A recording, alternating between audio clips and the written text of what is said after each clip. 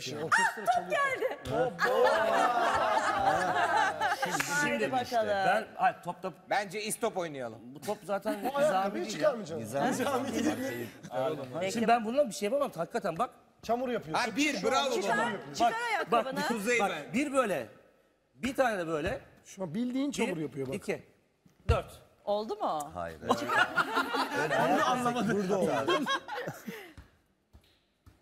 Daha ne yapsın? Aa, aa, aa. Ben senin yerinde olsam Oturduğu yerde.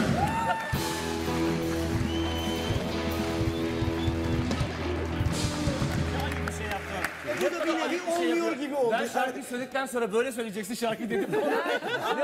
Ayrıca oturduğun sakal, yer, oturduğun yerden, oturduğun yerden babam da Ben yapar. Çok iyiymiş. Pilates'te boyuyor mu? ben top Pilates oturduğum topu yerde sektirelim diyor adam yani. Pilates topu değil mi bu? Pilates topucu ben şey yapıyorum. Söyleyeceğim, Türkiye'nin en iyi futbol- futbolcularından bir tanesiyle şimdi aşık mı Estağfurullah, atıyoruz ya? Tabii estağfurullah ki. yok. Yani. O da zaten Türkiye'nin en iyi şarkıcısıyla Evet, en tabii iyi ki aşık Ben söylemek Azmi, en istemedim. iyisi. Sabah sen de iyi Benim en sevdiğim hareket ne biliyor musun? Geçen gün kim yaptı? Snyder yaptı. Hamile ya karısı. Böyle gol attıktan ne oldu olmadı mı?